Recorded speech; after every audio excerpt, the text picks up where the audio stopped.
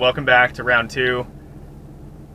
It is Friday, excuse me, it's Wednesday, May 3rd, and it's an absolutely gorgeous day. I'm a big fan. So, we're gonna see how accurate the Lie-o-meter is this time around. I'm currently reading 19.1 miles per gallon on the Lie-o-meter, and I'm about two minutes away from the diesel station.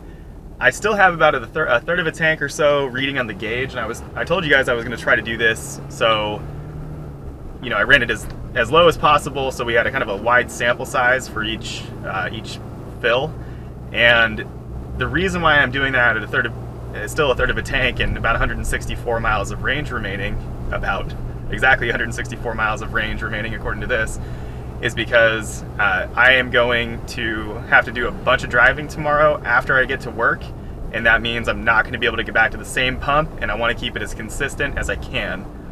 So the first probably 60 or 70 miles of this tank, of, the 360 miles that are on it, were uh, doing some wheeling and just basically up logging roads, doing some shooting.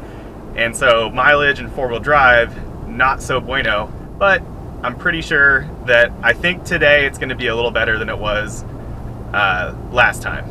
I have this theory about this where it doesn't actually capture the entire length of your drive. I think it actually captures just like a rolling window of like maybe 100 miles or so, and that's why it will still go up and down as you approach, uh, like as you're at the end of a tank at 500 miles on a tank, give or take, and you can still get tenths of a, of a mile per gallon to change on it. So that's my theory. That will that will come up in another video, I think. But uh, this one specifically is just gonna be about round two. So pulling up to my local tweaker mart and gonna get some diesel at the same pump.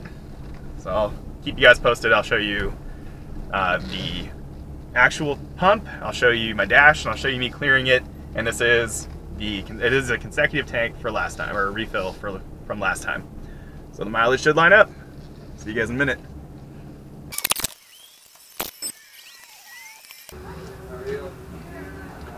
You guys are on TV. Congratulations.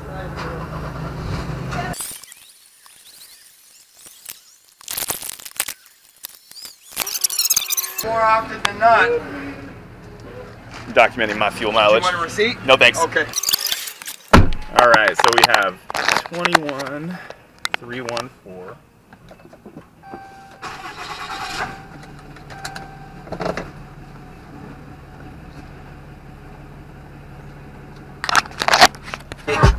Oops.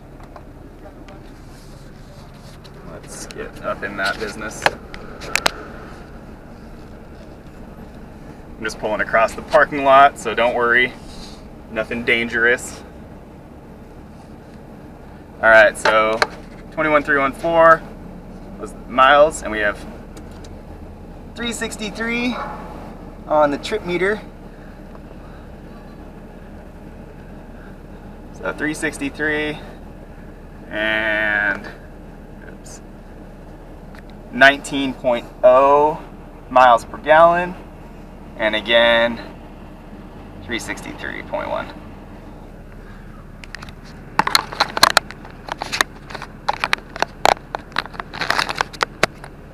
All right, let's do some math because I know you guys have already beat me to it. So we're gonna go to the calculator first. That would be helpful. So we have 363.1 divided by 21.314. 17.03 miles per gallon pretty consistently, almost exactly two miles per gallon off. So, I feel lied to. I'm pretty upset about it. It's alright. And just so you can see this evidence, so you know I'm not sandbagging these results, we're gonna clear that. Back at zeros and here's my trip meter. Cleared that as well. All right, all zeros. Alright, so I know that two things does not make a pattern, but I feel like a trend is starting to emerge. Well, it doesn't make a trend either, but let's find out. Uh, something to note on that one, I asked the dude to top it off because the other guy did as well, and so I'm just keeping it consistent so you know you're not getting kind of a weird carryover from one to the other. I asked him to top it off, and the diesel nozzle didn't shut off. It wasn't a lot on the ground. I would guesstimate maybe maybe like two cups, so like six, maybe like a pint glass.